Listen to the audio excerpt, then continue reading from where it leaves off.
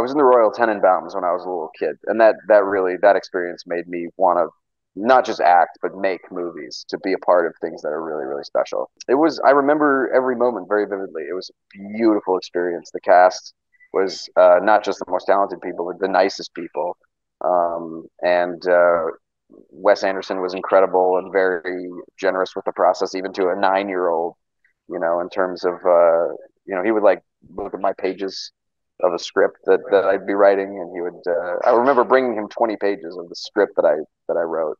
Uh, I was like, Wes, I wrote a script, and he's like, Oh, that's great. He's like, I wrote 20 pages. And he's like, Oh, that's great. Now you just got to do another 90. And he just walked away, and I'm like.